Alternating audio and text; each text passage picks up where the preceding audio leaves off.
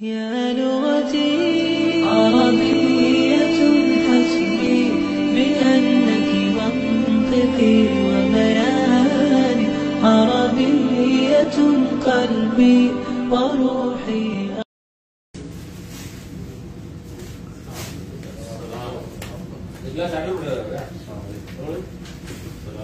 إن الحمد لله نحمده ونستعينه ونستغفره ونعوذ بالله من شرور أنفسنا ومن سيئات أعمالنا. من يهده الله فلا مضل له ومن يضلل فلا هادي له. أشهد أن لا إله إلا الله وحده لا شريك له. وأشهد أن محمدا عبده ورسوله أما بعد.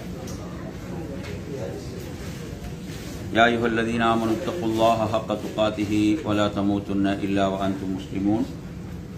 يا أيها الناس اتقوا ربكم الذي خلقكم من نفس واحدة وخلق منها زوجها وبث منهما رجالا كثيرا ونساء واتقوا الله الذي تساءلون به والأرحام إن الله كان عليكم رقيبا. يا أيها الذين آمنوا اتقوا الله وقولوا قولا سديدا يصلح لكم أعمالكم ويغفر لكم ذنوبكم. ومن يطع الله ورسوله فقد فاز فوزا عظيما. فإن أصدق الحديث كتاب الله وخير الهدي هدي محمد صلى الله عليه وسلم. شر الأمور محدثاتها وكل محدثة بدعة وكل بدعة ضلالة كل ضلالة في النار அன்பிற்குரிய நறுமை சகோதரர்களே அஸ்ஸலாமு அலைக்கும் வரஹ்மத்துல்லாஹி வபரகாத்துஹு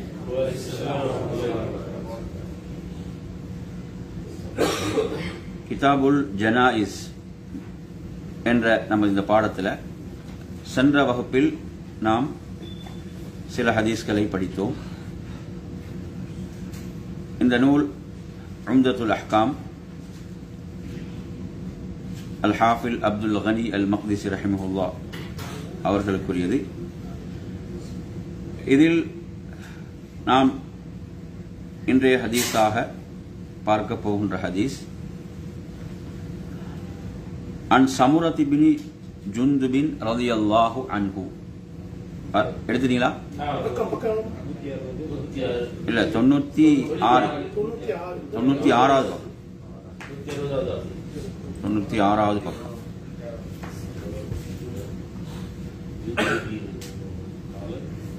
عن سمرة بن جندب رضي الله عنه قال صليت واسنة صليت وراء النبي صلى الله عليه وسلم على امرأة ماتت في نفاسها فقام وسطها இந்த ஹதீஸ் அறிவிக்கக்கூடிய ராவி சமரத் இப்னு ஜுந்துப் ரலியல்லாஹு அவர்கள் சொல்லக்கூடிய அவங்க அறிவிக்கிறாங்க சல்லைத்து என்ன அர்த்தம் நான் ஓ, நான் தொழுதேன் சல்லைத்து வராஅன் நபி ஸல்லல்லாஹு அலைஹி வசல்லம் இருக்கு நபி அவங்களுக்கு வரான பின்ன நபி அவங்களுக்கு பின்னால் நான் என்ன செய்தேன்? தொழுதேன். அலம்ரஅத்தின் மாதத். அலம்ரஅத்தின் மாதத் ஃபி நிஃபாசிஹா இஸ்லாம் அதாவது அலம்ரஅத்தினுடைய யாரு? ஒரு பெண். மாதத் என்ன அர்த்தம்? மரண- மரணித்து விட்டார்கள் இறந்து விட்டார்கள். ஃபி நிஃபாசிஹா பி நிஃபாசிஹான்னு சொல்லி சொன்னால் எங்களுக்கு தெரியும். அதாவது அந்த பிரசவத்தீட்டுன்னு சொல்றோமா? இல்லையா? பிரசவத்தோட வரக்கூடிய பிரசவத்தீட்டுன்னு சொல்றது. அப்போ அந்த நிஃபாசுடைய காலத்தில் அவங்க என்ன செய்யறாங்க அவர்கள் மரணிக்கிறார்கள். இப்போ ரசூல்லாஹி சல்லாஸ் அவர்கள் அவங்களுக்கு தொழுகை நடத்துறாங்க. ஜனாசாவுடைய தொழுகை.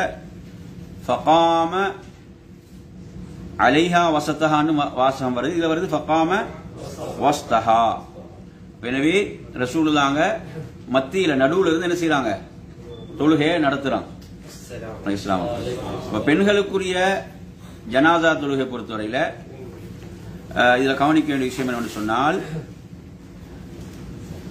அல்லாஹ்வுடைய தூதர் அலைஹி வஸல்லம் நடுவுல வசத் நடுவுல இருந்து என்ன செஞ்சுக்கிறாங்க? தொழுகை நடத்தி இருக்கிறாங்க அல்லாஹ்வுடைய தூதர் தொழுகை நடத்தினார்கள் என்பதுதான் இந்த ஹதீஸ். அப்ப எனவே இந்த ஹதீஸ பொறுத்தவரையில புகாரியில ஆயிரத்தி முன்னூத்தி முப்பத்தி ரெண்டு. நம்பர் குறிச்சுக்கோங்க. ஆயிரத்தி முன்னூத்தி முப்பத்தி ரெண்டாவது எண்ணில் வரக்கூடிய ஒரு செய்தி. புரியுதா? அஹ், எனவே அந்த அடிப்படையில அல்லாவுடைய தூதர் சல்லா அலைஹி அவர்கள் இவ்வாறு பெண்களுக்கு வந்து ஜனாதா தொழுகை செய்தார்கள் நடத்தினாங்க என்பதை நாங்க இந்த செய்தியில பார்க்கின்றோம். சில அறிஞர்கள் இதில் விளக்கம் சொல்லும் போது يفعل ذلك لأنه يسترها عن الناس وذلك مطلوب في حقها بخلاف الرجل அதாவது பெண்கள் என்றாலே யாரு தான் மறைக்கப்பட வேண்டியவங்க அப்புறம் சொல்லாங்க மத்தியில் நடுவில் இருக்கும் போது என்ன செய்யும் கொஞ்சம் மறையுமா இல்லையா எனவே அப்படி ஒரு ஒரு விளக்கம் அதில் அறிஞர்கள் என்ன செய்யறாங்க சொல்றான் புரியுதான் சொல்றது ஆண்களுக்கு மாற்றமாக சரி இப்போ நாம் வந்து அஹ், இந்த ஹதீஸை தொடர்ந்து நாம் இந்த தொழுகையோடு சம்பந்தப்பட்ட சில ஹதீஸ்களை பார்ப்போம். பார்த்துட்டு இந்த உம்தாவுடைய ஹதீஸ்களுக்கு வருவோம். தொழுகை சம்பந்தமாக வரக்கூடிய சில செய்திகள். இந்த செய்திகளை பொறுத்தவரை நீங்க என்ன செய்யுங்க? நான் சொல்லக்கூடிய நம்பர்களை எண்களை கொஞ்சம் குறிச்சுக்கோங்க. சரியா ஹதீஸ் எண்களை குறிச்சுக்கோங்க. இதில் நாங்கள் நாங்க ஒரு ஹதீஸை பார்ப்போம். திருமிதியில ஆயிரத்தி முப்பத்தி நான்கு. திருமிதியில ஆயிரத்தி முப்பத்தி நான்காவது எண்ல வரக்கூடிய செய்தி. ஹதீஸ அறிவிக்கக்கூடியவர் அனசிபுனு மாலிக் ரதியல்லான் யாரு? இது உங்கால் இருக்காது. இந்த ஹதீஸ் நீங்க வேறையா குறிச்சுக்கோங்க நாங்க கூடுதலான விளக்க சில ஹதீஸ்களை இதை சொல்றோம் உங்களுக்கு. இந்த செய்தியை பொறுத்தவரையில் இந்த செய்தியில் தாபியின்களில் தாபியின்களில் வந்து ஒருவர் ஒருவர் இந்த செய்தியை வந்து சொல்றார். தாபீன்கள் ஒருவர் இந்த செய்தியை சொல்கிறார். அவர் வந்து அன் அபு காலிப் அல் பாஹிலி என்பவர் தான் அவருடைய பேர். அந்த தாபியுடைய பேர் ரஹிமஹுல்லாவுடைய பேர் என்ன?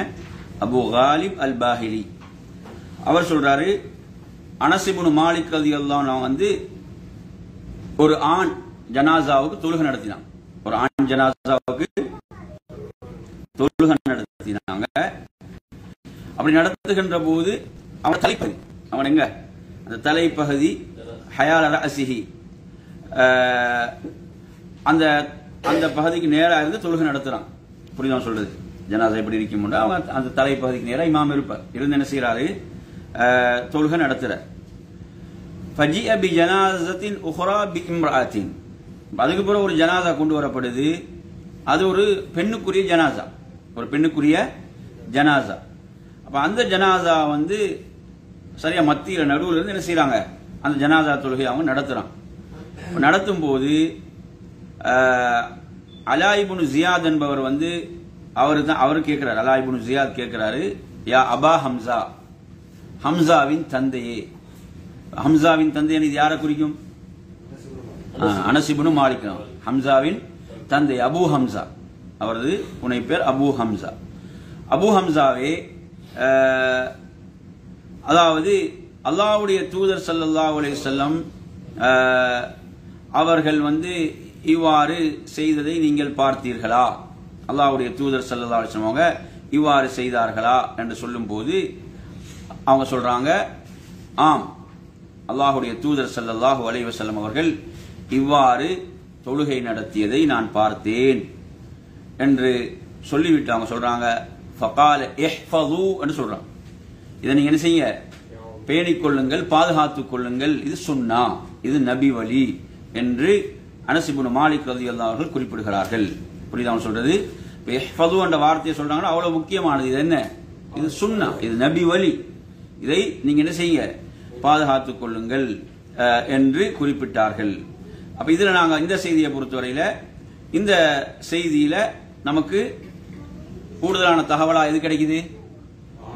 ஒரு ஆண் ஜனாசா வந்து எங்க எப்படி இருந்து தொழுகிறது தலைப்பகுதியிலிருந்து தொழுகிறது என்ற கூடுதலான ஒரு தகவல் நமக்கு இந்த செய்தியில கிடைப்பதை நாங்கள் பார்க்கணும் இது ஒரு இது ஒரு செய்தி.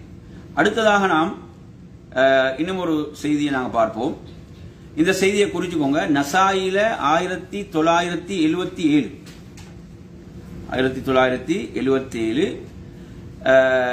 இந்த செய்தியை பொறுத்தவரையில் இது ச- இதுவும் சஹாபாக்களுடைய செயல் தான் அது சுண்ணான்றதுக்கு பின்னால் அதிலே வாசகம் வரும். அப்துல்லா இபின் உமர் ரதியனுடைய அடிமை நாஃபி என்ன செய்யறாரு நாஃபி வந்து சொல்றாரு.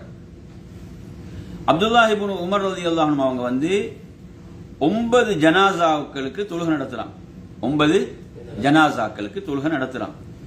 அப்படி ஒன்பது ஜனாசாக்களுக்கு தொழுகை நடத்துகின்ற போது அதுல ஆண்களுடைய ஜனாசாவும் இருக்குது. பெண்களுடைய ஜனாசாவும் இருக்கிறது எனவே அதுல அவங்க என்ன செய்யறாங்கன்னா ஆண்களுடைய ஜனாசா வந்து தனக்கு பக்கத்துல என்ன செய்யறாங்க இமாமுக்கு பக்கத்துல அந்த ஜனாசாக்கள் ஆக்குறாங்க. இன்னும் சில ரிவாயத்துக்களை சில சிறுவர்களின் ஜனாசாக்கள் இருந்தது. அதை அடுத்து அதுக்கு அடுத்ததாக வைக்கிறாங்க. அதுக்கப்புறம் பெண்களுடைய ஜனாசாவை என்ன செய்யறாங்க அதுக்கு பிறகு அந்த கிப்லா பகுதியில் அப்படி கிப்லா பக்கம் இமாமோட சேர்த்து யாருடைய ஜனாசாக்கள்? ஆண்களுடைய ஜனாசா. இவ்வாறு ஜனாசாக்களை அவங்க என்ன செய்யறாங்க வைத்து விட்டு தொழுகை நடத்துகிறான் இப்படி நடத்துகின்ற போது சிலர் வந்து என்ன செய்கிறாங்க இதை வந்து ஒரு கொஞ்சம் நிராகரிக்கிற ஒரு விதமாக அவங்க பார்க்கின்ற போது அங்கே சஹாபாக்கில் யாரெல்லாம் இருக்கிறாங்கன்னு பார்த்தீங்கன்னு சொன்னால் அப்துல்லா இபுன் அப்பாஸ் இருக்கிறாங்க. அபு அபூ ரதியும் இருக்கிறாங்க. அபு சயித் ரதியெல்லாம் இருக்கிறாங்க. அபு கதாதா இருக்கிறாங்க. அப்போ இந்த சஹாபாக்கள் எல்லாம் என்ன சொல்கிறாங்கன்னு சொன்னால் ஹியஸ் சுன்னா. இதுதான் என்ன? நபி வழி இவ்வாறு வைத்து இவ்வாறு வை தொழுகிறதா? என்னது? நபி வழி என்று அவர்கள் குறிப்பிட்டார்கள் என்பது இந்த செய்தியில வருகிறது. எனவே அந்த அடிப்படையில் அப்படியே அப்படி ஜனாசாக்கள் வருகின்ற போது அப்ப இமாம் தனக்கு தன்னோட பக்கத்தில் யாருடைய ஜனாசாக்கள் முதலாக இருக்கும் ஆண்களுடைய ஜனாசா. அதுக்கு அடுத்ததாக பெண்களுடைய ஜனாசாக்களை வைத்து என்ன செய்தாங்க? தொழுகை நடத்தினார்கள் என்று இந்த செய்தி வந்து இடம்பெறுகிறது. இந்த செய்தியை பொறுத்தவரையில நசாயில எத்தனை நாங்க நம்பரை பார்த்தோம். ஆயிரத்தி தொள்ளாயிரத்தி எழுபத்தி ஏழாவது எண்ணில் வரக்கூடிய ஒரு செய்தியாக இந்த செய்தி வருகிறது. எனவே அந்த அடிப்படையில் பார்த்தீங்கன்னு சொன்னா அப்ப ஜனாசாக்கள் அதிகமாக வரும்போது அதுக்கெல்லாம் என்ன செய்ய ஒரே ஜனாசா தொழுகை. ஒரே ஜனாசா தொழுகை என்பதை நாம் இந்த செய்தியில பார்க்கிறோம். அடுத்ததாக என் அருமை சகோதரர்களே இப்போ இப்ப உதாரணமாக பெண்கள் ஜனாசா தொழுகை வந்து தொழலாமா? பெண்கள் ஜனாசா தொழுகைய தொழலாமா? என்பது சம்பந்தமாக நாங்க பார்க்கக்கூடிய ஹதீஸ்ல இது ரெண்டு இது ரெண்டு விஷயங்கள் வருது. இதை குறிச்சுக்கோங்க. முஸ்லீம்ல தொள்ளாயிரத்தி எழுபத்தி மூணு. முஸ்லீம்ல எத்தனை? தொள்ளாயிரத்தி எழுபத்தி மூணு. ஹதீஸ் அறிவிக்கக்கூடியவங்க வந்து ஆயிஷா ரதி அறிவிக்கிறாங்க. யார் அறிவிக்கிறாங்க? ஆயிஷா ரதி அறிவிக்கிறாங்க. அஹ், இந்த செய்தியை பார்த்தீங்கன்னா சாதிபுனு அபி வக்காஸ் ரதி மரணிக்கிறாங்க. சாதிபுனு அபி வக்காஸ் மரணிக்கிறாங்க. அவங்க வந்து மதீனால இருந்து ஒரு பத்து கிலோ தொலைவில் அகீக் என்று சொல்லக்கூடிய இடம். அகீக் என்று சொல்லக்கூடிய இடத்துல தான் அவங்களோட வீடு இருக்கிறது. அங்குதான் அவங்க மரணிக்கிறாங்க. ஹிஜ்ரி எத்தனைல மரணிக்கிறாங்கன்னு சொன்னா ஹிஜ்ரி ஐம்பத்தி ஐந்துல மரணிக்கிறாங்க என்பதுதான் பிரபலமான கருத்து. ஹிஜ்ரி எத்தனைல ஐம்பத்தி ஐந்துல அவர்கள் என்ன செய்யறாங்க மரணிக்கிறாங்க. எனவே அவரது ஜனாசாவை சுமந்து கொண்டு வாரான். அவரது ஜனாசாவை என்ன செய்யறாங்க சுமந்து கொண்டு வருகிறார்கள். அப்படி ஜனாசாவை சுமந்து கொண்டு வருகின்ற போது ரசுல்லாவுடைய மனைவிமார்கள் அல்லாவுடைய தூதருடைய மனைவிமார்கள் மூமின்களுடைய தாய்மார்கள் உம்மஹாத்துல் முஃமினீன் அவங்க சொல்றாங்க ஜனாசாவை என்ன செய்ய? பள்ளிக்குள்ள கொண்டு வர சொல்றாங்க. மஸ்ஜித் எங்களோட ரசுல்லாவுடைய மனைவியோட அந்த வீடுகள் இருக்குது. அப்ப அந்த பள்ளிக்குள்ள கொண்டு வந்து அதுக்கு முன்னால வச்சு அல்லாவுடைய தூதருடைய மனைவிமார்கள் என்ன செய்தாங்க? அதுக்கு ஜனாசா தொழுகை என்ன செய்தார்கள்? தொழுதார்கள். அவங்க தொழுதான். புரியுதா சொல்றது? அப்ப அவர்கள் தொழுத பிறகு அந்த ஜனாசா என்ன செய்யப்படுதுன்னு சொன்னா அந்த ஜனாசா வளமையா கொண்டு போகின்ற அந்த மஸ்ஜிதுடைய ஒரு வாயில் இருக்குது. அதனூடாக அப்படி ஜனாசாவை கொண்டு போறான். இந்த நேரத்தில் சில மக்கள் வந்து இந்த செயல் சம்பந்தமாக குறையாக பேசியது ஆயிஷா ரதி அவர்களும் கேள்விப்படுது. மக்கள் வந்து இதை பற்றி குறையாக பேசிக் கொள்கிறார்கள் அப்படின்ற செய்தி அவங்களுக்கு கேள்விப்பட்டவுடன் அவங்க வந்து என்ன சொல்றாங்கன்னா மக்கள் வந்து தங்களுக்கு அறிவில்லாத தெளிவில்லாத ஒரு விஷயத்திலே இவ்வளவு அவசரப்பட்டு குறை சொல்கிறார்கள் அப்படி என்று சொல்லி அவங்க சொல்றாங்க. சொல்லிவிட்டு சொல்றாங்க அல்லாவுடைய தூதர் சல்லாஹு அலைஹி செல்லும் அவர்கள் சுஹைல் இப்னு பைதா என்று வருகிறது. அந்த செய்தியில் வருகிறது சுஹைல் பைதா இவங்க யாரு? இவங்களை பத்திய செய்தி எடுத்து பார்த்தீங்கன்னு சொன்னா இந்த சுஹைல் இப்னு பைதா இவங்க வந்து இரண்டு ஹிஜ்ரத்துகள்லையும் கலந்து கொண்டவர்கள். அபிசீனியாவுடைய ஹிஜ்ரத் அப்புறம் அங்கிருந்து மதீனாவுடைய ஹிஜ்ரத்தில் கலந்து கொண்டவர்கள். பத்ர் உஹத் போன்ற போர்களில் கலந்து கொண்டவர்கள். இவங்க தபூக்குடைய போர். அந்த ஹிஜ்ரி ஒன்பதில் நடக்கும் தபூக்குடைய போருக்கு பிறகுதான் இவங்க என்ன செய்யறாங்க மரணிக்கிறாங்க. ரசூல்லாங்க இவளுக்கு இவர்களுக்குரிய ஜனாதா தொழுகை வந்து மஸ்ஜிதிலே நடத்தலாம். ரசூல்லாங்க என்ன செய்றாங்க? மஸ்ஜிதிலே இவர்களுக்குரிய ஜனாசா தொழுகை தொழுவித்தார்கள் என்பதை இந்த செய்தி புரியுதா நான் சொல்றது? எனவே இந்த செய்தியை ஆயிஷலாம் ஆதாரமாக கொண்டு வந்து என்ன சொல்றாங்கடா மஸ்ஜிதில் என்ன செய்யலாம்? ஜனாசா தொழுகை தொழலாம். ஜனாசா தொழுகை மஸ்ஜிதில் தொழலாம் என்பதற்கு இந்த செய்தி என்ன செய்யறாங்க ஆதாரமாக கொண்டு வருகிறார் எனவே அந்த அடிப்படையில் இதில் இதுல பல ஆதாரங்கள் இந்த செய்தி நமக்கு கிடைக்குது. அதுல பாத்தீங்கன்னா பெண்கள் என்ன செய்திருக்கிறாங்க? ஜனாதா தொழுகை தொழுது இருக்கிறாங்க பெண்கள் ஜனாதா தொழுகை தொழுது ஒன்று மட்டுமல்லாமல் மஸ்ஜிதில் தொழுகை நடந்திருக்கிறது. அதே போன்று அதற்கு பிறகு என்ன செய்யப்பட்டது? ஜனாதா தொழப்படுகின்ற இடத்துக்கு கொண்டு போய் அங்க அங்குள்ள வளமையா தொழுவாங்களா இல்லையா? அந்த ஜனாதா தொழுகை அப்படி நடைபெறுகிறது. இப்படியான பல செய்திகள் இதுல நமக்கு கிடைக்கிறது.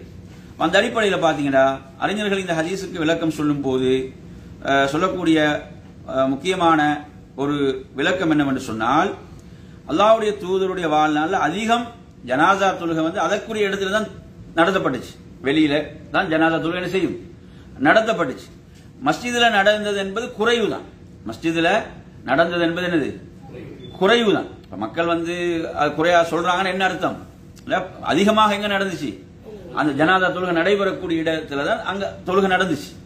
இது மஸ்ஜிதுல நட- நடந்த போது அவங்களுக்கு வந்து என்ன செய்தி இந்த செய்தி தெரியாது. பலருக்கு அந்த செய்தி அறிமுகம் இல்லாமல் இருக்குது. அப்ப ஆனா ஆதாரம் இருக்குது. அப்ப இந்த செய்தி என்ன? மஸ்ஜிதிலேயும் ஜனாதா தொழுகை தொழலாம் என்பதற்கு என்ன? இது ஆதாரமாக இருக்கிறது.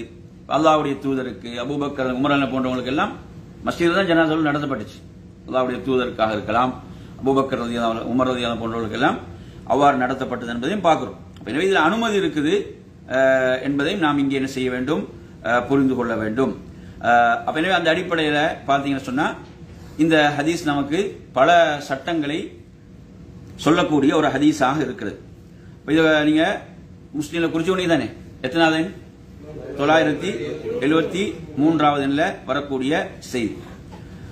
சரி அடுத்ததாக நாம் இந்த தலைப்பில் நாம் கவனிக்க வேண்டிய மற்றும் ஒரு விஷயம்தான் அதாவது சுகதாக்கள்.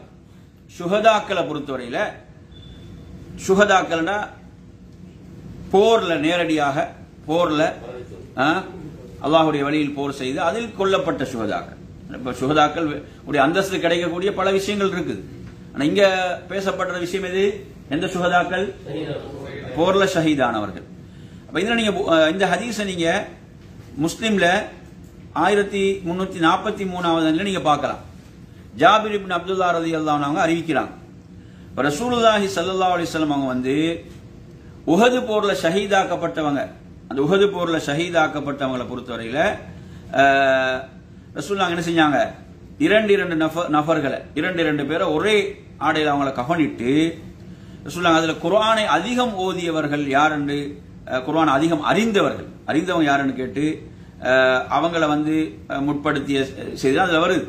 அதை தொடர்ந்து சொல்றாங்க ரசூல்லாங்க இவர்களுக்கு மறுமையில் நான் சாட்சியாவேன் என்று அல்லாவுடைய தூதர் சொல்றாங்க. அவனோட அந்த இரத்தத்தோடே அவர்களை அடக்குமாறு சொல்லாங்க பண்ணிக்கிறாங்க. அவனோட இரத்தத்தோடு அடக்குமாறு. அவங்க வந்து என்ன செய்யப்படலை? அந்த ஜனாசாக்கள் குளிப்பாட்டப்படவில்லை. அதே போன்று அவர்களுக்கு தொழுகை நடத்தப்படவும் இல்லை என்று இந்த செய்தி. அப்ப சுகதாக்களை பொறுத்தவரை சுகதாக்களுக்கு என்ன கிடையாது? ஜனாதா தொழுகை கிடையாது. ஜனாதா தொழுகை தொழலாம் என்பதற்கும் ஆதாரங்கள் இருக்குது இல்லைன்னு இல்லை. சில ஆதாரங்கள் தானே இந்த ஹதீஸ் இதுவும் ஒரு பலமான செய்தியாக இருக்குது. அப்போ அவர்களுக்கு ஜனாதா தொழுகை இல்லை என்பதற்கு இந்த செய்தியை நாங்கள் பார்க்குறோம். சரி. அடுத்ததாக நாம் இதிலே கவனிக்க வேண்டிய விஷயம் இப்போ ஜனாசா தொழுகையை பொறுத்தவரையில் அதனுடைய சட்டத்தை நாங்கள் எப்படி சொல்லுவோம் ஜனாசா தொழுகையை சொல்லும்போது நாங்கள் ஃபர்தை வந்து ரெண்டாக பிரியும் அப்படித்தானே? ஃபர்து ஐன் ஃபர்து கிஃபாயா. ஃபர்து ஐனண்டா என்ன? ஒவ்வொருவருக்கும் கடமை அப்படித்தானே? ஃபர்து ஐனண்டா ஒவ்வொருவருக்கும் என்ன? கடமை ஒவ்வொருவரும் செய்தாக வேண்டும். ஃபர்து கிஃபாயா என்று சொல்லும் போது என்ன அதனுடைய அர்த்தம்? ஒரு சாரார் செய்யும் போது அனைவருடைய கடமையும் என்ன செய்து விடுகிறது? அதில் நிறைவேறி விடுகிறது. அதுதான் ஃபர்து ஃபர்து கிஃபாயா என்று சொல்றது. அந்த அடிப்படையில் அஹ், நாம் பார்க்கின்ற போது இது ஜனாதா தொழுகை நாங்க எது எப்படி சொல்லுவோம்? பரது கிஃபாயான்னு சொல்லுவோம். அப்படித்தானே? ஒரு சாரார் அந்த அதுக்குரிய கடமையை நிறைவேற்றி அடங்கிட்டாங்கன்னா எல்லோருடைய கடமையும் நீங்கிவிடும். யாரும் செய்யலண்டா எல்லோரும் குற்றவாளிகள். அப்படித்தானே? யாருமே அதை செய்யலன்னு எல்லோரும் என்ன செஞ்சிருவாங்க? அந்த ஊர்ல உள்ள எல்லோரும் குற்றவாளி ஆகிடுவார்கள். அது அங்க யார் சம்பந்தப்படுறாங்களோ அவங்க என்ன செஞ்சிருவாங்க? குற்றவாளி ஆகுவாங்க. அதோட அந்த கடமை செய்யறது யாருக்கெல்லாம் முடியுமோ அவங்க என்ன செய்திருவாங்க? குற்றவாளி ஆகுவார்கள். புரியுதா? இப்ப இப்ப இதுல நாங்க பார்க்கும் பார்க்கும்போது இது வந்து இந்த அடிப்படையில் ஃபர்து கிஃபாயான்ற கோணத்தில் விளங்கக்கூடிய அடிப்படையில் இப்ப காலத்தில் நடந்த சில நிகழ்வுகளை நாம் பார்ப்போம். அதாவது நபிசல்லாஹு அலைவசல்லம் அவர்கள் ஜனாசாக்கள் கொண்டு வரப்படும் போது அவங்க கேட்கக்கூடிய கேள்விகளில் ஒரு முக்கியமான கேள்வி தான் என்ன? கடன். ஃபஹல் அலைஹி ஜெயினும் அவருக்கு அவர் மீது கடன் இருக்கிறதா என்ற கேள்வி. இப்போ இவ்வாறு ரசூல்லாங்க கேட்பாங்க. கேட்டுவிட்டு தான் அதற்கு பிறகு இல்லையான தொழுகை நடத்துவாங்க. சில பொழுதுகளில் ரசூல்லாங்க என்ன செய்வாங்க? அதை பொறுப்பேற்கக்கூடிய நேரங்கள் எல்லாம் பிற்காலத்தில் வந்துச்சு. இந்த ஹதீஸை பொறுத்து நாங்கள் இப்ப பார்க்கக்கூடிய இந்த ஹதீஸ் புகாரில ரெண்டாயிரத்தி இருநூத்தி எண்பத்தி ஒன்பது புகாரில் ரெண்டாயிரத்தி இருநூத்தி எண்பத்தி ஒன்பது சலமத் இப்னுல் அக்குவான்னு சொல்லக்கூடிய சஹாபி ரதியல்லாஹு அறிவிக்கிறான். சலமத் இப்னுல் அக்குவா சொல்றான் பாருங்க குன்னா ஜுலூசன் இந்த நபி சல்லா அலைஹி நாங்கள் நாங்க தூதரோடு உட்கார்ந்து இருந்தோம் அப்போ ஒரு ஜனாசா கொண்டு வரப்பட்டுச்சு. ஒரு ஜனாசா கொண்டு வரப்பட்டது. ரசூல்லாங்கிட்ட வந்து சொல்றாங்க யார சொல்ல சல்லி அலைஹா. இந்த ஜனாசாவுக்கு தொழுகை நடத்துங்க. இப்ப ரசூல்லா கேட்கிறாங்க ஹல் அலைஹி தெய்னுன் அந்த ஜனாசாவுக்கு ஏதாவது கடன் இருக்கிறதா? அவர் ஏதாவது கடனை விட்டு சென்று இருக்கிறாரா கடன் கொடுக்க வேண்டியதான் மரணித்து இருக்கிறான்னு கேட்கும்போது அவங்க சொல்றாங்க இல்லை. விளைஞ்சா அப்ப வந்து கேட்கிறாங்க ஃபஹல் தரக்க ஷைஅன்? அவர் ஏதாவது சொத்துக்களை விட்டுட்டு போயிருக்கிறாரா? என்று கேட்கிறாங்க இல்லை என்றாங்க. ஃபசல்லா அலி ரசூல்லாங்க அந்த ஜனாசாவுக்கு தொழுகை நடத்தினான் சும்மா உத்திய பி ஜனாசத்தின் உஹ்ரா பிறகு அடுத்து என்னது? இன்னொரு ஜனாசா வருது. இன்னொரு ஜனாசா வந்தவுடன் அதே மாதிரி சொல்றாங்க. ரசூல்லாங்க ரசூல்லா தொழுவீங்க. தொழுகை நடத்துங்க. அப்ப திரும்ப அதே கேள்வி ரசூல்லாம் கேட்கிறாங்க. ஏதாவது கடனை விட்டு சென்று இருக்கிறாரா அப்ப சொல்றாங்க ஆம். இவர் கடனோடு தான் மரணித்திருக்கிறாரு. என்று சொல்றாங்க. ஏதாவது அதாவது ஃபஹல் தரக்க செய்யான் என்று கேட்கிறாங்க. ஃபஹல் தரக்க செய்யான் கடனை கொடுக்குற அளவுக்கு ஏதாவது விட்டுட்டு போய் இருக்கிறான் அடுத்த கேள்வி வருமா இல்லையா? கேட்கிறான். சொல்றாங்க சலாசத் தனானிர். மூணு தி- தீனார்களை விட்டுட்டு போயிருக்கிறார். மூணு தீனார்கள் இருக்குது அவருக்கு. அப்புறம் சொல்லுவாங்க ஃபசல்ல அலி அந்த ஜனாதாவுக்கு என்ன செஞ்சாங்க? தொழுகை நடத்தினான். என்ன விட்டுட்டு போயிருக்கிறா அதை கொண்டு என்ன செய்யலாம்? கடனை கொடுக்கக்கூடிய அளவில் இருக்குது. சரி. அப்ப அடுத்ததாக சும்மா அத்தா பிசாலிசா மூன்றாவது ஜனாசா வருது. மூன்றாவது ஒரு ஜனாசா வருகிறது. ரசூல்லாங்க சொல்றாங்க ஜனாதா தொழு தொழு தொழுவிக்குமாறு சொல்றாங்க. ரசூல்லாங்க அதே கேள்வியை கேட்கிறாங்க. அப்படி கேட்கின்ற போது அப்ப சொல்றாங்க அதாவது இவர் வந்து ஏதாவது கடனை விட்டு சென்றிருக்கிறாரா? ஆம். கடனை விட்டு சென்றிருக்கிறாரு. அதை நிறைவேற்றுவதற்கும் எதுவும் இல்லை. நிறைவேற்றுவதற்கும் எதுவும் இல்லை என்ற நிலை. அப்ப சொல்றாங்க சொல்றாங்க சல்லு அலா சாஹிபிக்கும். சல்லு அலா சாஹிபிக்கும். நீங்க உங்களுடைய தோழருக்கு நீங்க தொழுகை நடத்தி கொள்ளுங்கள் என்றான். புரியுதா அவன் சொல்றது? அப்ப எனவே இது வந்து ஃபரது கிஃபா என்பதற்கு இந்த செய்தி என்ன இருக்குது நமக்கு? ஆதாரம் இருக்குது. காலு அபு கதாதா அபு கதாதா என்று சொல்லக்கூடிய அந்த சஹாபி வந்து சொல்றாரு அல்லாவுடைய தூதரே அந்த ஜனாசாவுக்குரிய தொழுகை நீங்க நடத்துங்க நான் அந்த கடனை பொறுப்பேற்றுக் கொள்கிறேன் என்று சொல்றார். அந்த கடனை நான் பொறுப்பேற்றுக் கொள்கிறேன் என்று சொல்கிறார். எனவே இந்த ஹதீஸ் நாங்க பார்க்கிறோம். ரசூல்லாங்க வந்து சல்லு அலா சாஹிபிக்கும் என்று சொன்னார்கள் என்று வரக்கூடிய ஒரு செய்தி. அடுத்த ஒரு செய்தியை பாருங்க. இது அபுதாவுதுல ரெண்டாயிரத்தி எழுநூத்தி பத்தாவது எண்ணில் வரக்கூடிய செய்தி. இந்த ஹதீஸுடைய தரம் சம்பந்தமான சில கருத்து வேறுபாடுகள் இருக்குது இல்லைன்னு இல்லை. ஜெய்திபுனு ஹாலித் அல் ஜுஹனி என்ற சஹாபி அறிவிக்கிறார். ஜெய்திபுனு ஹாலித் அல் ஜுஹனி என்ற சஹாபி அறிவிக்கிறார். இவர் வந்து அந்த ஹைபருடைய போர் அந்த ஹைபருடைய போர்ல ஒரு சஹாபி மரணிக்கிறார். இந்த சாபி இந்த இந்த ராவி ஹதீஸ் அறிவிக்கிறவர் ஜெயித் இப்னு ஹாலித் ஜுஹனி அவர் சொல்றாரு ஹைபருடைய அந்த போர் தூஃபிய ஹைபர் அந்த நாளில் ஒருவர் மரணிக்கிறார். அப்போ ரசூல்லாங்க சொல்லப்பட்டுச்சு இப்படி ஒருத்தர் மரணிச்சிட்டார் யார் ரசூலுல்லான் அப்படி சொன்னவுடன் அல்லாஹுடைய தூதர் சல்லாஹூ அலைஹி வஸல்லம் அவங்க சொல்றாங்க அதாவது நீங்க அவருக்கு தொழுவிச்சுக்கோங்கன்றான் நீங்க அவருக்கு தொழுகை நடத்துங்கன்றாங்க சொல்லலாம் அப்படி சொன்னோடனே சஹாபாக்களுடைய முகமெல்லாம் மாறுது என்ன ஜிஹாதுக்கு வந்திருக்கிறாரு ஆ? இப்ப ரசூலுல்லாங்க வந்து இப்படி சொன்ன உடனே அவங்களோட சஹாபாக்களுடைய முகத்தில் அப்படி ஒரு மாறுதல் ஏற்படுகிறது. அப்போது அல்லாவுடைய தூதர் சொல்கிறார்கள் அதாவது இவர் அல்லாஹ்வுடைய பாதையில வந்து எடுத்து பார்த்தீங்கன்னு சொன்னா ஏதோ ஒரு பொருள் என்ன செஞ்சுட்டாரு தெரியாம எடுத்துட்டார். திருடி விட்டார் எடுத்துட்டார். அது பார்த்தீங்கன்னா ஒரு இரண்டு திருகம்களுக்கு கூட பெருமதி இல்லாத ஒரு ஒரு அற்பமான ஒன்றுதான். தான் ஒரு மாலை போன்ற ஒரு ஒரு பொருள். இவ்வாறு ஒன்றை என்ன செஞ்சிட்டாரு? அவர் எடுத்து விட்டார். அப்ப அதனால ரசூல் நாங்க என்ன சொல்றாங்கடா? நீங்க அவருக்கு தொழுகை நடத்துங்கன்றாங்க. புரியுதா நான் சொல்றது? எனவே சுபஹானல்லா பாருங்க எவ்வளவு ஒரு எங்களோட வாழ்க்கையில் நாங்கள் பேணுதலை கடைபிடிக்க வேண்டிய விஷயங்கள். இவ்வாறு அல்லாஹுடைய தூதர் ஸல்லல்லாஹு அலைஹி வஸல்லம் அவர்கள் குறிப்பிட்டாங்கன்னு வர ஒரு செய்தி. இந்த செய்தி சம்பந்தமாக சிலர் ஹசன் என்ற தரத்தில் இந்த ஹதீஸை கொண்டு வருவாங்க சிலவங்க லைஃப் பண்றாங்க. இப்படி ஒரு ஒரு செய்தி தான் இந்த செய்தி. புரியுதா நான் சொல்றது? அப்ப எனவே அல்லாஹுடைய தூதர் சல்லா அலைஹி வஸல்லம் அவர்கள் அஹ், தனது சமுதாயத்தை எவ்வாறு வழிநடத்தினார்கள் என்றதெல்லாம் நாங்கள் இதில் பார்க்குறோம். அவங்களோட அல்லாஹுடைய தூதருடைய பிரார்த்தனை துவா என்பது எவ்வளவு முக்கியமானது. சரி அடுத்ததாக நாம் இதே தொ- இதே இது தொடர்பாக வரக்கூடிய செய்திகள்ல முஸ்லீம்ல தொள்ளாயிரத்தி எழுபத்தி எட்டாவது செய்தி. ஜாபிரிபுன் சமுராரதி சமுரா அறிவிக்கக்கூடிய ஒரு செய்தி. இந்த செய்தியை நீங்க பாத்தீங்கன்னு சொன்னா அல்லாவுடைய தூதர் ஸல்லல்லாஹு அலைவு செல்லம் அவர்களிடத்துல ஒரு ஜனாசா கொண்டு வரப்படுகிறது. அவர் என்ன செய்யறாரு ஆயுதத்தால் அவர் தன்னையே குத்தி தற்கொலை செய்து கொள்கிறார். அப்படியான ஒருத்தர் ஜனாசா கொண்டு வரப்படுது தற்கொலை செய்தவர்களுடைய ஜனாசா கொண்டு வரப்படுகிறது. இவ்வாறு கொண்டு வரப்பட்ட போது ஃபலம் யுசல்லி அலைஹி. அல்லாவுடைய தூதர் சல்லா அலைஹி வஸல்லம் என்ன செய்யல? அந்த ஜனாசாவுக்கு தொழுகை நடத்தவில்லை.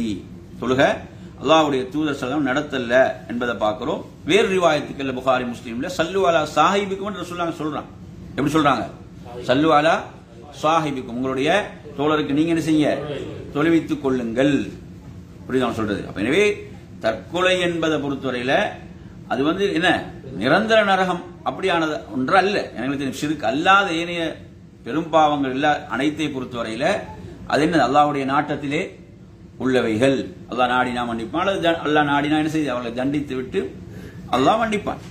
எனவே இவ்வாறாக அப்ப தற்கொலையை பொறுத்தவரையில இந்த செய்தி அறிஞர் என்ன சொல்றாங்கன்னா ரசூலுல்லாஹ் இவ்வாறு ஏன் செய்தார்கள் அப்படின்னு சொன்னா இந்த மாதிரியான தவறுகள் என்ன செய்யக்கூடாது? வேற யாரும்? செய்யக்கூடாது. அப்படிதானே அப்படி அப்ப அவங்க அவங்களுக்கு ஒரு பெரிய ஒரு பயம் வந்துடும் இப்படி இப்படி நடந்துட்டா அல்லாஹ்வுடைய தூதருடைய என்ன? துவாவே நமக்கு கிடைக்காம போயிடும் என்ற ஒரு அச்சம் வருமா இல்லையா? எனவே அதனாலதான் இந்த ஹதீஸை வைத்து அறிஞர் சொல்லுவாங்க. இப்படியானவர்கள் இப்படி தற்கொலை செய்தவங்க சமூகத்தில் சமூகத்துல இப்ப முக்கியமானவங்கன்னு வரக்கூடியவங்க அவங்களுக்கு தொழுகை நடத்தாம இருக்கிறது நல்லது. அப்ப அதை மக்களுக்கு என்ன செய்யும் அதுல? ஒரு மெசேஜ் ஒரு செய்தி போகும். மக்களுக்கு ஒரு செய்தி போகும். மற்றவர்கள் அதை பயப்படுவாங்க அப்படி செய்து கொள்றதுக்கு. என்பது. ஆனால் இது என்ன? பெரும்பாவம் இது எதுல வரும்? அக்பரில் கபாய் பெரும்பாவங்கள் உள்ளதுதான் இது. தற்கொலை செய்து கொள்ள அதே மாதிரி அவன் நரகத்தில் என்ன செய்யப்படுவான்? தண்டிக்கப்பட்டு கொண்டே இருப்பான் என்பதெல்லாம் ஹதீஸ்.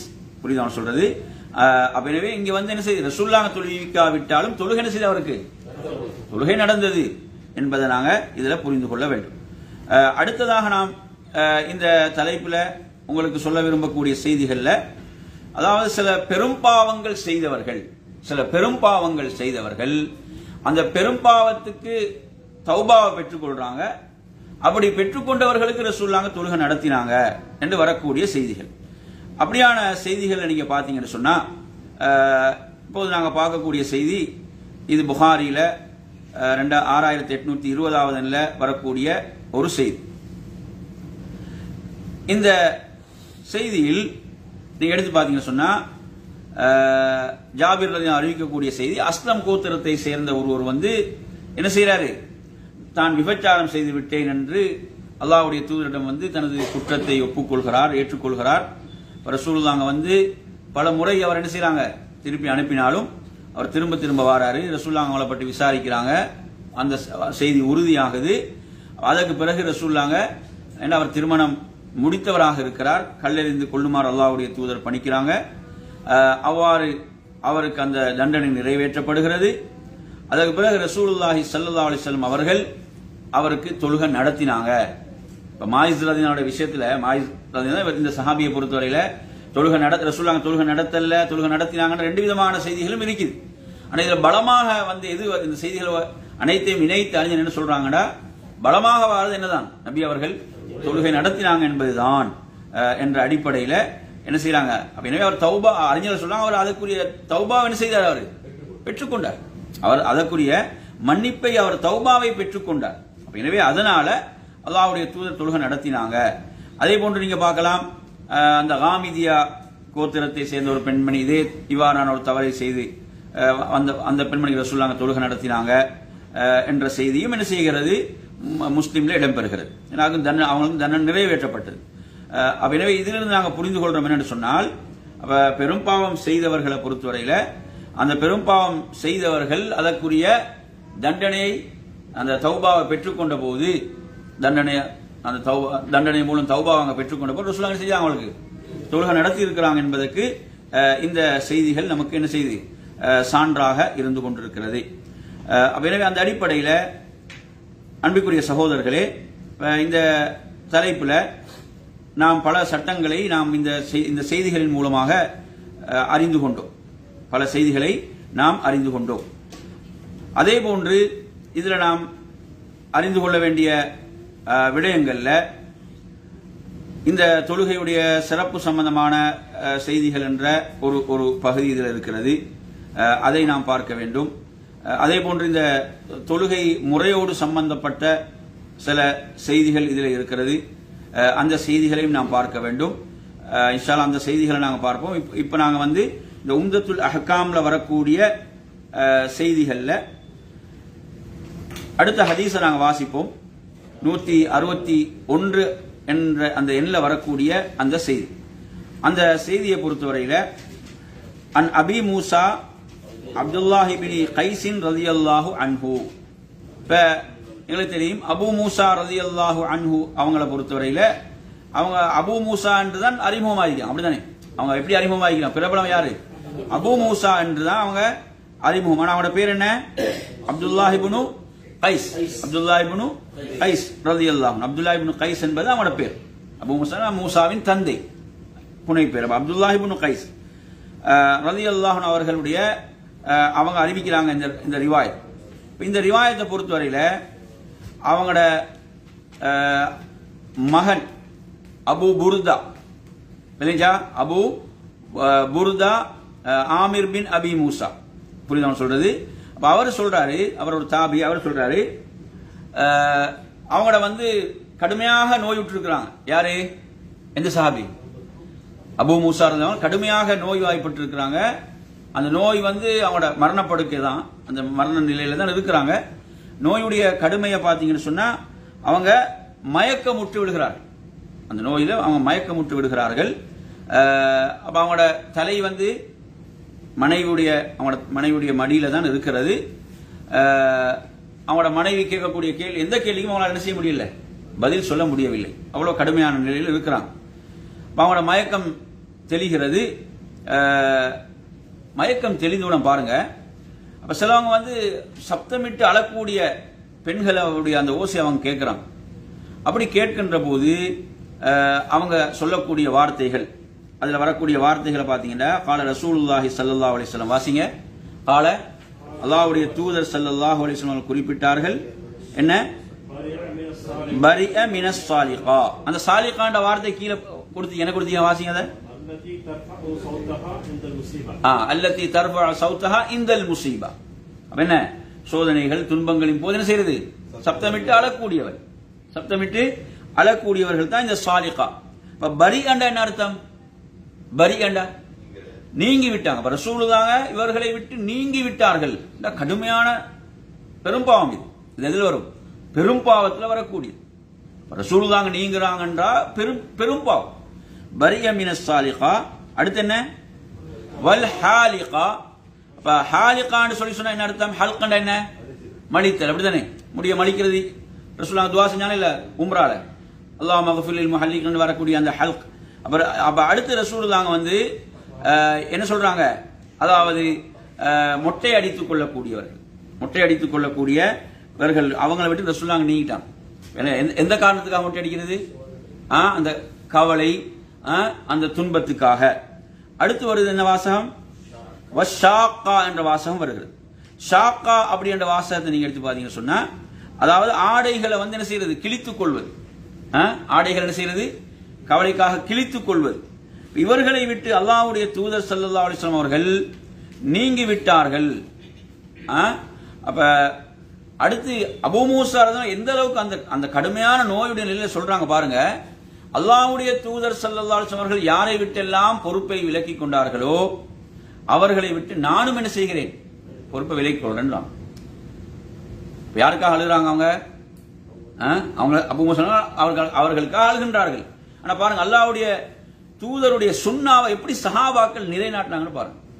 அந்த நோயுடைய கடுமையான நேரத்தில் சுபஹானல்லாஹ் நோயுடைய கடுமையில மயக்கமுற்று விடுகிறார்கள். அந்த நிலையில கூட மயக்கம் தெளிந்தவுடன் முதலாவது எதுதான்? தீன் மார்க்கம்.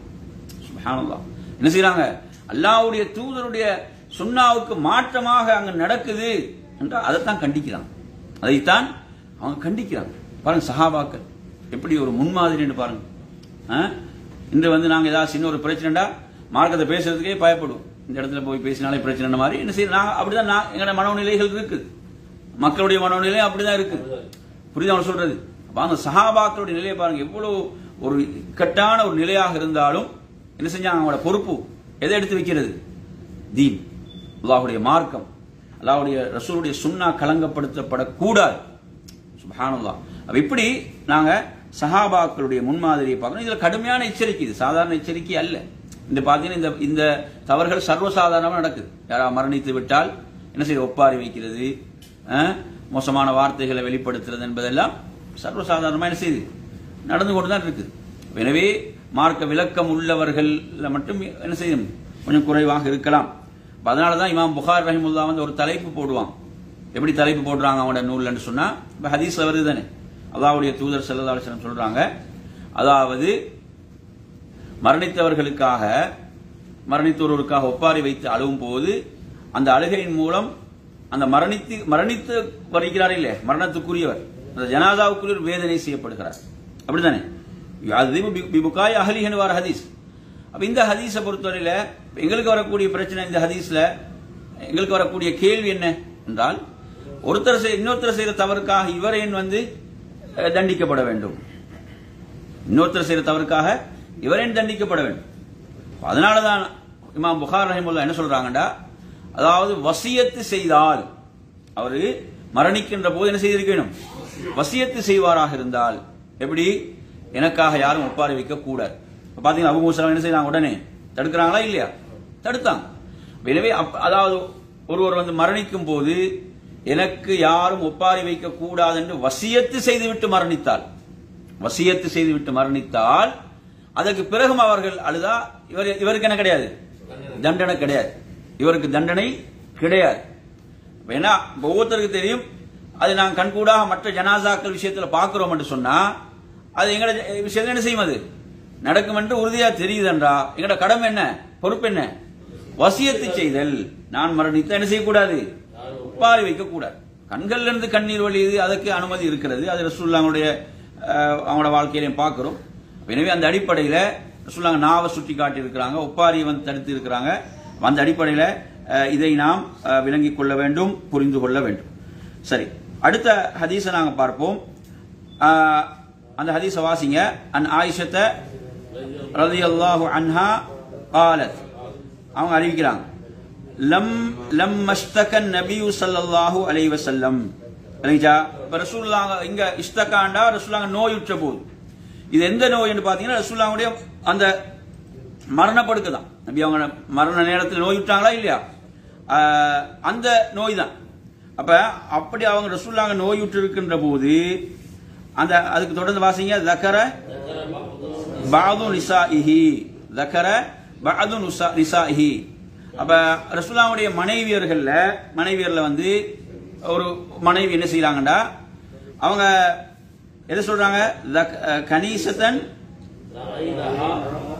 ரஐனஹா பி அர்லில் ஹபஷா. யுகாலுலஹா என்ன? மாரியா. அப்படிதானே அப்ப அவங்க அபிசீனியாவுக்கு ஹிஜர செய்த போது அபிசீனியால அங்க இருக்கிற போது அந்த கனிசாண்ட கிறிஸ்தவ ஆலயம். கிறிஸ்தவ ஆலயத்துல வந்து நடக்கக்கூடிய ஒரு விஷயத்தை பற்றி அவங்க சொல்றாங்க. அந்த ஆலயத்துடைய பேர் வந்து என்ன? யுகாலுலகா மாரியா. என்ன சொல்லப்படும் அந்த கனிசாவுக்கு மாரியான்னு சொல்லி இப்ப மரியம் அலிஸ்லாத்துல பேர். மா- அந்த அவ்வாறு செய்யப்படும்? அந்த ஆலயத்தை பற்றி அவங்க சொல்றாங்க. வக்கால் வகால் உம்மு சலமா அதே மாதிரி உம்மு ஹபீபா அவங்க, அன் வாசிங்க. அத்ததா அறுதல் ஹபஷா. நினைச்சா அவங்க சொல்றது. அப்ப அந்த உம்மு ஹபீபா ரதியுல்லா அவர்கள் அதே போன்று உம்மு சலமா ரதியுல்லா அவங்க என்ன சொல்றாங்கன்னு சொன்னா அங்க வந்து உள்ள அழகு அங்க உள்ள அந்த அந்த சர்ச்சுகள்ல அந்த கிறிஸ்துவ ஆலயங்கள்ல அதில் உள்ள அலங்காரங்களை பற்றி அழகுகளை பற்றி அவங்க என்ன செய்யறாங்க மின் ஹுஸ்னியா வதசாவில ஃபீஹா. அதில் வரையப்பட்ட அந்த உருவங்கள் அழகுகள் அதை பற்றி அவங்க வர்ணித்து கொண்டு இருக்கிறார்கள். அப்போ ரசூல்லாங்க தனது தலையை உயர்த்தி அல்லாவுடைய தூதர் என்ன உடனே தலையை உயர்த்துறாங்க. பாருங்க நோயுடைய நேரத்தில் ஆ, கடுமையான நோயில் இருக்கிறாங்க அல்லாவுடைய தூதர் சலதாஸ் அவர்கள். உடனே தலையை உயர்த்தினான் அல்லாவுடைய தூர் தலையை உயர்த்தி என்ன சொல்றாங்கன்னு சொன்னால் அதாவது உலாய்க்க இதா மா தஃபீஹிம் அர் ரஜுலு சாலே இதா அங்க வந்து அவர்களில் ஒரு நல்ல ஒரு மனிதர் மரணித்து விட்டால் பனவ் அலா கபரிஹி மஸ்ஜிதா. என்ன செய்வாங்க? கபரில் மஸ்ஜிதை அவர்கள் எழுப்பி விடுவார்கள் கட்டி விடுவார்கள். சும்மா சவ்வரு ஃபீஹி தில்க சூரா. பிறகு என்ன செய்வாங்க அதுல? அவருடைய அந்த உருவங்களை என்ன செய்வார்கள்? அதிலே வரைவார்கள். அந்த ஓவியங்களை அவங்க என்ன செய்வார்கள்? வரைவார்கள். உலாய்க்க ஷிராருல் ஹல்கி இந்தல்லாஹ். இவங்க அல்லாவிடத்தில் யார் இவங்க? மிக கெட்ட படைப்பினர்கள். நீங்க சொல்றது? அல்லாவிடத்தில் மிக கெட்ட படைப்பினர்கள் தான் இவர்கள். பாருங்க அந்த நோயுடைய நேரத்தில் ரசூலுல்லாஹ் வந்து எப்படி கடுமையான நோய்? எவ்வளவு கடுமையான ஒரு நோயுடைய நிலை? ஆனால் இன்றைக்கு நாங்கள் பார்த்தீங்கன்னா அதாவது நமது உலக விஷயங்களில் சில அசாதாரண அசாதாரணமான சில நிகழ்வுகளில் யாரும் மார்க்கத்தை கண்டுகொள்றது கிடையாது. எதை கண்டுகொள்றது கிடையாது? மார்க்கத்தை தீனை கண்டுகொள்றது கிடையாது. மார்க்கத்துக்கு புறம்பான விஷயங்கள் இருந்தால் அதை கண்டுகொள்றது கிடையாது. இப்போ ரசூல்லாங்க பாருங்க இந்த இடத்துல அந்த நோயுடைய அகோர நிலையிலும் கடுமையான நிலையில் ரசூல்லாங்க உடனே தலை உயர்த்தி சொல்றாங்க. அதாவது இவர்கள் படைப்பினாங்க அவங்க நல்லா தான் வர்ணிச்சு கொண்டிருக்காங்க. எப்படி?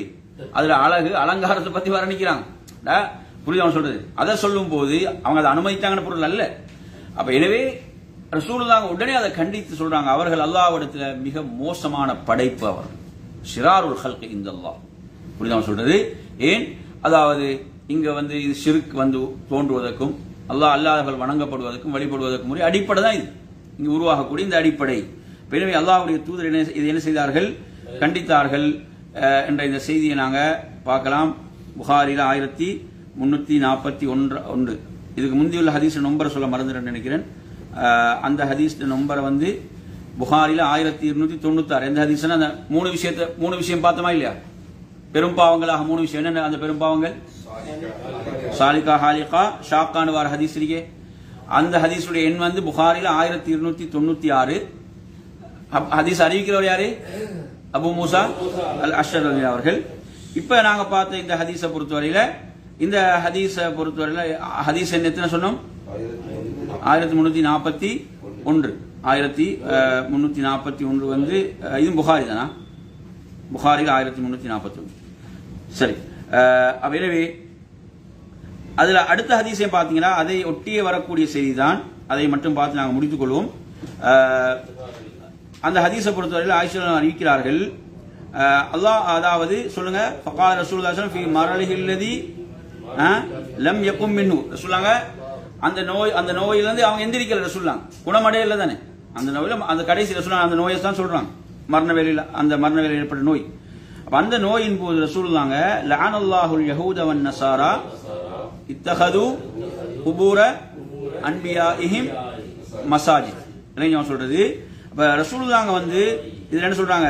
யூதர்களையும் கிறிஸ்துவர்களையும் அல்லாஹ் சபிப்பானாக. அல்லாஹ் சபிப்பானாக. அல்லாவுடைய கருணையிலிருந்து அவன் என்ன செய்யட்டும்? அல்லாஹ் அப்புறப்படுத்தட்டும். அஹ், என்று சொல்லிவிட்டு அதுக்குரிய காரணமாக என்ன சொல்றாங்க? நபிமார்களுடைய இல்லையா? நபிமார்களுடைய கபர்களை என்ன செய்தார்கள்?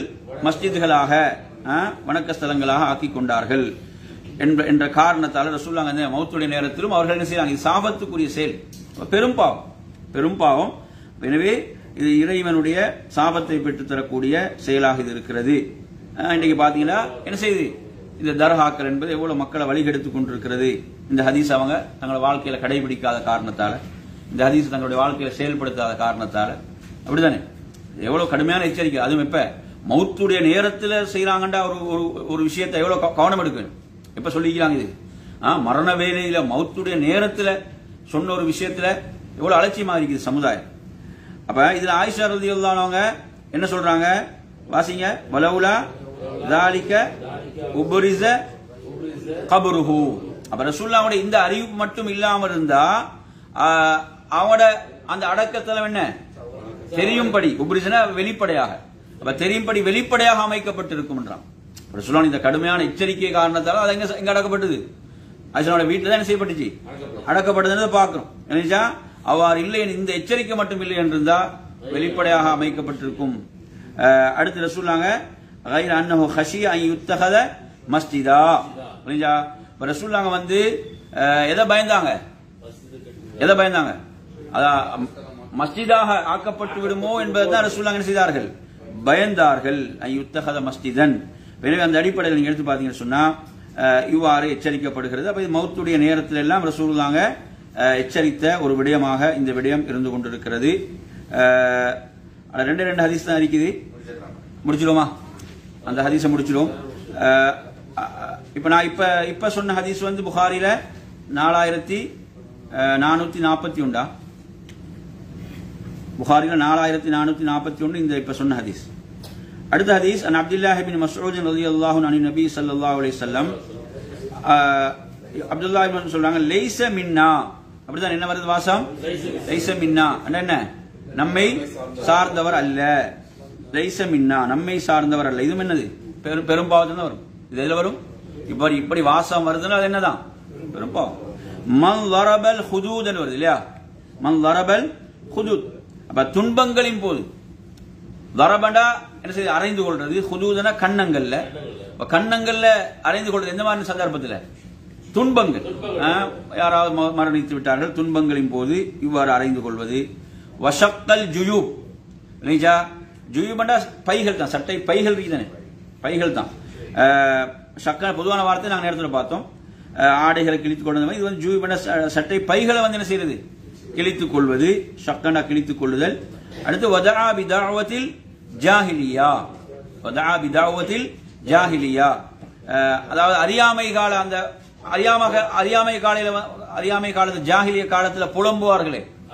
அது மாதிரி என்ன செய்யக்கூடியவர்கள்? புலம்புவர்கள். இல்லைங்களா நம்மை சார்ந்தவர்கள் அல்ல என்று அல்லாஹ்வுடைய தூதர் என்ன செய்யறாங்க எச்சரிக்கிறாங்க. அப்ப எனவே அந்த அடிப்படையில் பாத்தீங்கன்னு சொன்னா துன்பங்கள் சோதனைகளின் போது வார்த்தைகள் மிக என்ன செய்யணும்? கவனமாக இருக்கணும் கவனமாக வார்த்தைகள் வெளிவர வேண்டும். அது அதெல்லாம் என்ன சொல்லாங்க பெரும் பாவங்கள்ல சொல்லியிருக்கிறாங்க. கடைசியாக ஹதீஸ் நம்பர் ஹதீஸ் நம்பரை பொறுத்தவரையில புகாரில ஆயிரத்தி இருநூத்தி தொண்ணூத்தி நான்கு. புகாரில ஆயிரத்தி இருநூத்தி தொண்ணூத்தி நான்கு ஹதீஸ் எண். சரி. கடைசியாக அதில் வரக்கூடிய ஹதீஸை பார்ப்போம். அந் அபி ஹுரேரத் ரதி அல்லாஹ் அன்னு கால் கால ரசூல்லாஹி சல்லா அலி சொல்லம் மன் ஷஹித் அல் ஜனாசத ஹத்தா யுசல்லி அலைஹா ஃபலஹு கீராத். பொறுத்த ஷஹித் ஜனாதான ஜனாதால யார் கலந்து கொண்டு ஹத்தா யுசல்லி அலைஹா எதுவரையும் கலந்து கொள்றாரு? தொழுகையில கலந்து கொள்றாரு. தொழுகையில கலந்து கொள்றாருன்னா அவருக்கு ஒரு கீராத் என்ன இருக்குது? நன்மை இருக்கிறது. ஒமன் ஷஹீதஹா ஹத்தா துதுஃபன. ஜனாதா அடக்கப்படும் வரை அவர் செய்யறாரு கலந்து கொள்றாரு. கடைசி வரையும் இருக்கிறாருண்டா? அடக்கப்படும் வரை. பலகு கீராத்தான். இரண்டு கீராத்துகள் நன்மை உண்டு. இப்ப கீராத் என்றால் என்னென்று சஹாபாக்கள் கேட்கும் போது ரசூலுல்லாஹ் சொல்றாங்க மிஸ்ரு அல் ஜபலைனில் அதீமைன் புரியுதா? பெரிய மலைகள். அதீமைன் என்ன? ஜப ஒரு ஒரு ஒரு ஒரு ஜபல் ஒரு பெரிய மலை. ரெண்டு கீராத்னா ரெண்டு பெரிய மலைகளை போன்ற நன்மைகள்.